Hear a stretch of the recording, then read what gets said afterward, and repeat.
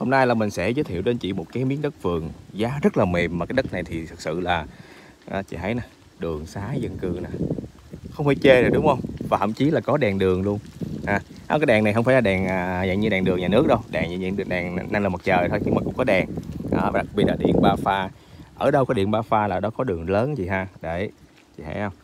gần đây có tập quá luôn chị Hà nãy mình đi nghe chút xíu tập quá nhỏ nhỏ thôi nhưng mà có tập quá luôn đầy đủ và gần đường chính ha thì à, đây miếng vườn trái cây ha có dừa có xoài mặt trên đường bê tông này à, rộng rãi à, giá thì thôi vài trăm triệu thôi nói chung không tới một tỷ là chị sẽ có được miếng vườn đẹp ha rộng à, dân cư khu dân cư vị trí thì mình thấy rất là ok.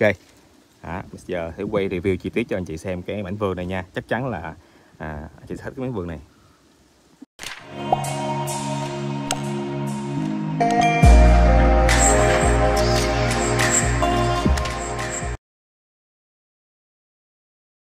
Thì đầu tiên là mình sẽ nói thông tin cơ bản đi nha, báo giá luôn. Ở đây á, địa chỉ chính xác là thuộc xã Sông Ray, huyện Cẩm Mỹ, tỉnh Đồng Nai.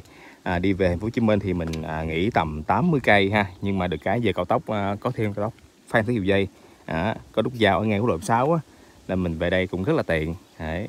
Thì à, à, ở đây ở đây mình đi thẳng ha, tầm một cây số là sẽ ra ngay trục đường Trương Định ha. Cái đường đó một hướng đi ra đường 765, à, một hướng thì đi à, về à, à, quốc lộ A hướng về Long Khánh đó anh chị. Đấy. Nhưng mà mình nói luôn nha cái đường thì nó không thẳng đâu. Đường nó cứ cong cong cong cong cong cong cong vậy đó. Nhưng mà được cái là đường này hai bên đường dân cư nhiều. Đó chị thấy không dân cư rất là nhiều nè. Đấy, điện ba pha chị thấy không đây nếu mà làm nhà xưởng cũng có điện sẵn thấy không? Rồi đó cái vị trí mình thấy là ổn ha. À, vị trí này là nếu mà để làm một ngôi nhà vườn thì ok. À, đi về Phú Chí Minh thì chỉ khoảng tầm một à, tiếng rưỡi thôi. À. đi à, đây đất mình à, cái miếng này nè anh chị nha thật ra là theo mình quan sát thì cái miếng này với miếng kia là chung với nhau hồi xưa nhưng mà giờ là nhưng đây là thửa riêng vậy ha nhưng mà đều trồng giống nhau tức là trồng dừa và trồng xoài. À, thì cái miếng mình đây á, là nó có tổng diện tích là chẳng 2.000 mét vuông vậy ha một số tròn chỉnh rất là đẹp hai sào. Đó. À, bám theo vuông dứt như vậy rất là vuông. Nó bám theo mặt tiền đường bê tông này là 22 hơn 22 mét. Nói chung là một cái à, cái chiều ngang mặt tiền cũng rất là hợp lý ha không quá là hẹp ha, 22 mét là mình thấy rộng rồi ha. Nhưng mà chuẩn là nhà vườn là hơn 20 mét là đẹp. Và dài á, thì là à, khoảng à, đâu đó là là là nói chung là xuất sắc là gần trăm mét. À, chín mấy mét á. À, và trước cuối đất chắp suối ha. Mà suối đó thì à, mùa mùa khô thì như là nước nó không gần như không có. À, chủ yếu mùa mưa thôi. À, coi như là à, coi như không có suối đi ha. Đất thì bằng phẳng nha nghe với đường. À, có sẵn càng trái. Cây này thì nói chung là cũng chưa có lớn à, chưa có thu đâu. Nhưng mà à, chăm thêm vài năm nữa là sẽ có thu ha. À, chung là người ta cũng đã chăm trồng được năm hai năm rồi. Rồi bây giờ báo giá luôn nha. Phần quan trọng nhất là giá. Đất thì thật sự là rất là đẹp rồi. Đó không có điểm chê đúng không? Thì hiện tại á, là cái miếng vườn này á, chủ đang kêu bán giá chỉ có 850 triệu. Đó. giá này thì dĩ nhiên nó đã quá ờ, ok rồi nên là không thương lượng nhiều chị ha thì chị thấy rồi đất ở khu vực Cẩm Mỹ mà nhiều khi không có đường ha cũng đã có giá là hơn 300 một xào rồi mà khu mà nằm ở hẻo lánh nha anh chị. Đó còn này thì dân cư đông đường bê tông điện ba pha mà lại có sẵn cây trái nữa mà đất rất là đẹp ha đất vuông vắn bằng phẳng ngang với đường. Đó tính ra là chỉ có hơn 400 một xào thì mình thấy cái giá này thì không thể nào mà mà mà, mà hợp lý hơn được đâu. Đó tức là anh chị mình chỉ cần hơn 800 triệu thôi là mình sẽ có được cái mảnh vườn rộng rãi như thế này ở cái vị trí như thế này rồi ha. Đó tám trăm rưỡi này có thương lượng cũng như thương lượng nhẹ ha. Nói chung là mua bán thì à, chủ họ sẽ có bớt cái lọc nhưng mà à, mà khi mà bớt tiền trăm thì chắc chắn là à, khó ha gần như là không thể. À, tại nếu mà xuống nữa thì cái giá nó quá bèo chủ không bán được đâu. À, nhưng mình thấy cái giá này là hợp lý lắm rồi ha. À, nói chung là nhỉnh hơn 800 là anh chị sẽ sở hữu cái bánh vườn này. À. ranh giới thì à, mặt trước thì có xây à, bờ tường rồi nè. Còn mặt này thì có chấm cắm cột ha cắm trụ bên đây thì mình thấy như cũng cắm trụ hay gì mình nếu chưa cắm thì chị mình cứ nhờ chủ họ uh, kêu để dính xuống mình cắm cho nó rõ ràng rồi mình công chứng thôi. Đó thì từ cái móc đó ha. Đó từ cái móc ờ, cây chung là bên kia cỏ là của ta bên cái cây trái của mình. Thì tới tầm đây nè chị ha tầm đây nè. Đó bên bên bên đây của ta ha. Chúng tôi cũng trồng giống mình nhưng mà của ta đây nè thẳng xuống dưới ha vuông dứt luôn. Đất mình nó là quay mặt sang hướng bắc chị ha chính bắc luôn á. Đây giờ mình sẽ vô tham quan đất mình ha. À, đất mình thì à, dĩ nhiên là à, đất mình chưa thổ cư gì nha mà cũng chưa phủ hồng đâu. Đó. chứ mà đòi à, có thổ cư thì chắc chắn là không thể có giá này được. Thì với cái dạng đất trồng cây lâu năm thì anh chị mình hoàn toàn có thể xây nhà cấp 4 ha, hoặc là nhà lắp ghép nhà tiền chế gì đó. Nói chung là nhà vườn đơn giản thì ok. Đó. Còn nếu mà xây nhà biệt thự hay gì đó thì à, à thật ra thì vẫn được nhưng mình khuyên là không nên. Đó, mình cứ xây nhà cấp 4 đơn giản thôi. Đó trồng kính gan trái rồi anh chị. Cái này thì anh chị mình nếu mà mình thích đa dạng cây ăn trái thì mình về mình bứng bỏ bớt đi. Mình trồng à, thêm cái khác vô ha. Tại vì à, này chỉ có hai loại cây thì nó hơi đơn điệu đúng không? Mình trồng thêm à, à, những loại khác xen vào. À, đất này thì là theo mình quan sát thì là đất đen. Đó, đây. Nói chung mà nó gần như nó bằng ha bằng phẳng. Nè bằng phẳng vuông dứt với đường. Nhưng mà xuống gần tới cuối đất ha gần nói chung là còn có vài mét nữa thôi. Tới cuối đất á, thì nó sẽ hơi hơi ờ, uh, chuyền nhẹ xuống. Nói chung là vẫn ok. Đó chị heo nãy chị mình đang vẫn đang đi cho đất mình ha. À, đất này thì uh, hiện tại là uh, nó sạch sẽ không có cỏ nhiều nên là nhìn rõ ràng đúng không? Đó, ranh giới rõ ràng. Đây khu đất là giáp cái suối ha. Suối đó thì uh, suối, suối, suối, suối uh, mùa mưa mới có nước nhiều. Đây khu giáp suối này thì chuối tùm lum cây lớn nè đấy. Vậy thôi, không có gì để quay nhiều đâu. Để coi còn nước không?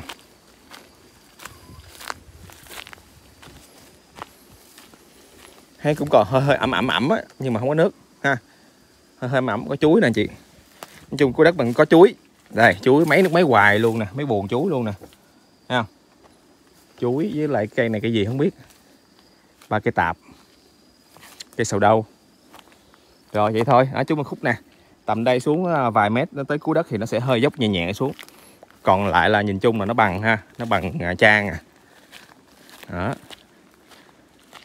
Bên đây ranh giới chưa rõ ràng, cái này anh chị mình cắm cắm móc rõ ràng ha. Đó. móc thì nó tầm à, đâu đây nè. Đó. tầm đây nè anh chị ha. Tầm đây, thẳng qua kia là hơn 22 mét. Đấy. Chính xác là 2.000 mét vuông. 2.000 mét vuông là một cái diện tích cực kỳ lý tưởng để làm nhà vườn. Đó, khu này khu dân cư đẹp. Giá mình sẽ nhắc lại là 850 triệu có bớt lọc ha.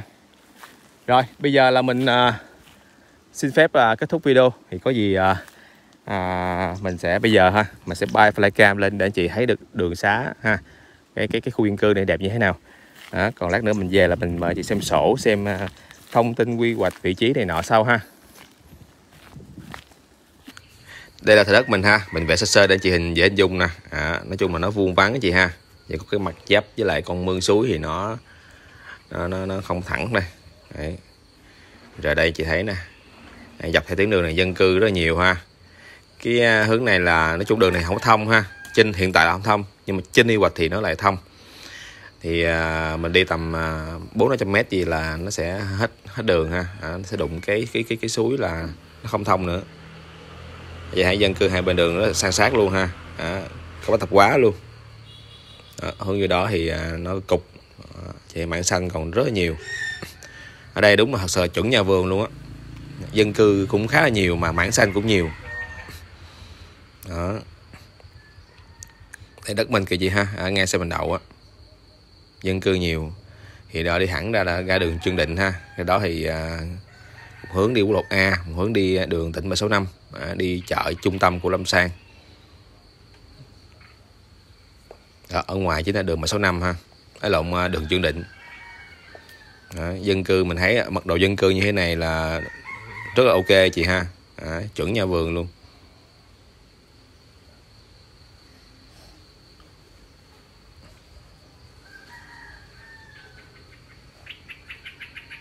Đấy mình à, vừa đi tham quan à, xung quanh khu vực là chị thấy là vòng vòng mình là dân cư như thế nào rồi ha?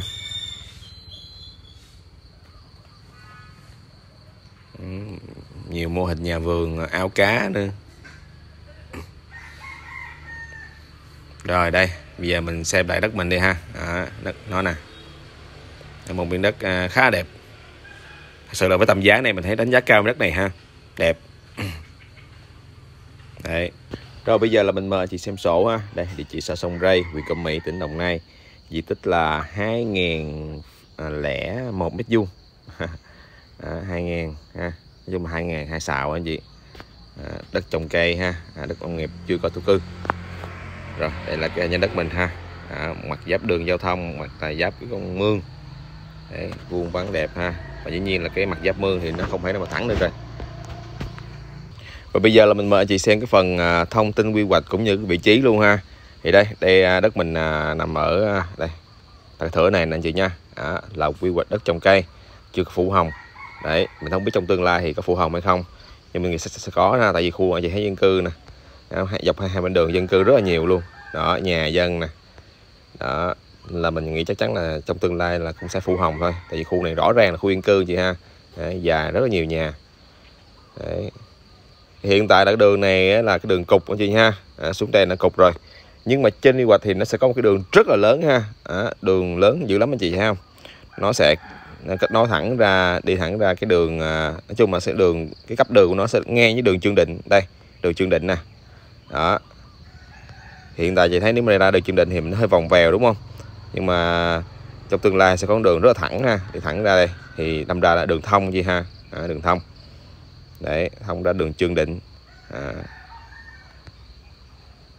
đường Trương Định cái đường này nó sẽ tầm thẳng qua bên phía Bà Rịa Vũng Tàu này chị chị em. Nó giáp ranh với bên phía Bà Rịa Vũng Tàu nè.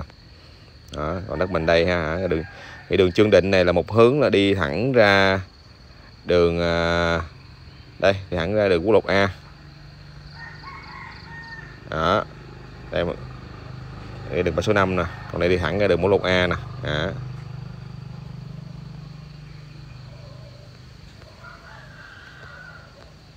Còn đi về Phú Chí Minh á, thì à, ở vị trí này thì mình nghĩ là anh chị có thể đi ra đường 764 ha. Đây. À, tỉnh lộ 764 nè. Thì nó sẽ kết nối với quốc lộ 6 ha. Thì nếu mà ra quốc lộ 6 rồi á thì à, đây quốc lộ 6 nè anh chị. Thì à, mình có thể đi về thành phố Hồ Chí Minh theo nhiều hướng ha. Đi về đường Bầu Cạn nè hoặc là đi à, tới nút giao cao tốc Phan Thiết Dầu Dây à, để mình à, về à, thành phố Hồ Chí Minh. Đó thì khu vực này mình cũng quay nhiều rồi thì à, mình nói sơ sơ cho anh chị mình theo dõi sẽ hiểu. Còn nếu anh chị mình không có rành đường á, thì cái alo mình sẽ hướng dẫn chi tiết thêm ha. Rồi thì à, mình xin phép kết thúc video. Đó anh chị nào mà có ừ, cái à, quan tâm đến cái đất này á thì cái alo mình ha. À, để được hỗ trợ đi xem đất và gặp chủ mình đàm phán. Chung mà mình nghĩ là đất này sẽ bán rất là nhanh. Tại vì rõ ràng là chị thấy là tầm giá thì không tới một tỷ chị sẽ có được 2.000 mét vuông mà đường bê tông một khu dân cư đẹp như thế này. Và trên đất thì đã trồng sẵn trái cây nữa.